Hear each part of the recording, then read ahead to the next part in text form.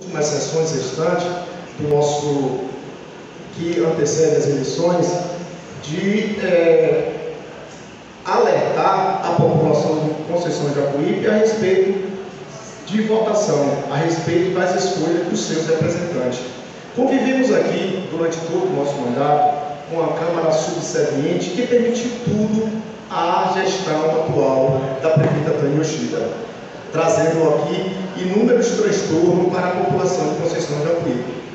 E encontramos em 2012, vereador Rafael, encontramos em 2012, ou melhor, em 2013, ano que depois das eleições, encontramos uma prefeitura decaída, uma prefeitura, um município totalmente endividado, um município sem funcionalismo público, um município devedor. Encontramos, foi, foi esta cara que encontramos no nosso município. Tivemos é, participação durante oito mandatos, onde deixamos em 2020 uma prefeitura organizada, sem dever nada a ninguém e com dinheiro em conta, vereadora Flávia, com dinheiro em conta. E hoje, com a permissão da casa, hoje nós ultrapassamos o déficit de mais de 30 milhões de reais do nosso município. Casa essa que permitiu suplementação todos os anos de 100%, permitindo liberdade de abertura de crédito em bancos, principalmente o Banco do Brasil, foram diversos empréstimos tomados e que hoje a população sofre com falta de salário. É, eu cobrei sempre aqui, eu cobrei sempre aqui, e foi promessa do meu mandato cobrar sobre os precatórios, e mais uma vez eu estou aqui para cobrar. Houve-se comentários de promessa aí que ia pagar os precatórios, não é precatórios, é uma parte aí que se para simbolizar os precatórios, que eu de fato toda a vida fui contra a maneira de dividir né, esses, esse recurso que foi repassado pelo governo federal para, para os municípios, onde os professores serão muito penalizados por não, ser, não ter seus direitos conforme a lei. E é, aprovaram aí uma lei de acho que 9 mil reais e também teve uma bomba aí que foi à categoria que até hoje nada tem essa promessa de irá pagar aí, acho que dia 30, mas os professores estão atentos. Os professores são sábios, né?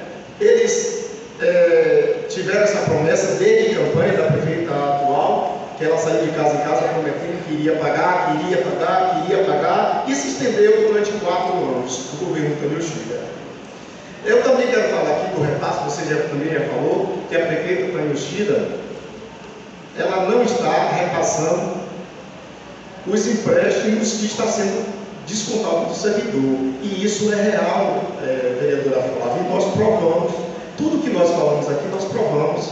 As pessoas que estão sendo penalizadas, os servidores do município que estão sendo penalizados, podem entrar sim com ação judicial, porque, é, consequentemente, irão ter seu nome, seus nomes negativados junto ao SPC e Serasa, e isso é horrível para, para a população, isso é horrível para os servidores do nosso município. É, o vereador Gustavo Piopati pode falar, Gustavo? Muito obrigado, vereador Piopati. É, isso, frisei isso no meu discurso, né, porque isso, isso não é questão de responsabilidade da prefeitura. Né? Tipo assim, prefeitura, não é nem que está cogitando em trazer uma fala dessa para ser discutida aqui na Casa Legislativa. Como é que pode? Um servidor público toma empréstimo consignado. A prefeitura precisa pagar o salário dele e não faz um repasse para a instituição. Isso, isso, é, isso é falta de humanidade. Isso é coisa de picareta. Isso é crime, isso é um absurdo. Não existe uma situação dessa, em forma nenhuma. Eu nunca vi em outras cidades as coisas que acontecem na situação de acolhida. Isso foi das coisas normais de curso, que isso é impulso. Natural das coisas.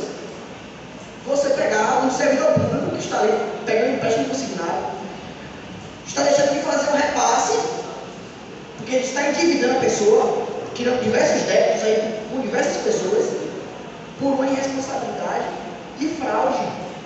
Isso é fraude. Essas pessoas que estão me ouvindo nesse momento aí, certo? Vocês precisam se manifestar, constituir um advogado particular e entrar com ação administrativa contra a prefeitura. Muito obrigado, meu abaixo. Obrigado, Gustavo. Isso é sério. Além dos repasses dos empréstimos dos servidores que a prefeita não vem fazendo, tem os repasses também do INSS, que ela deixa de cumprir. Então, eu trago para a população onde nós, em 2020, deixamos a prefeitura com arrecadação de 86 milhões de reais e vem o tempo de hoje, em 2024, de uma previsão orçamentária de mais de 220 milhões de reais. E eu pergunto a cada parlamentar que está aqui presente na manhã de hoje, o que é que foi feito com esse dinheiro? O que é que foi, o que é que a prefeitura de Conceição de Apuípe o que é que a prefeita de Conceição de Apuípe fez com esse dinheiro? Me cite uma obra. São dessas coisas que eu venho alertando a população de Conceição de Apuípe para que fiquem atentos, atentos a todas as ações de um governo irresponsável.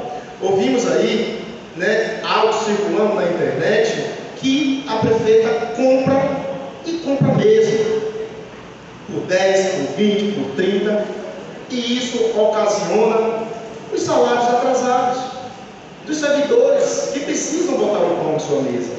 Enquanto a prefeita Tanyoshida compra uma pessoa, 50 se revoltam. E assim sucessivamente.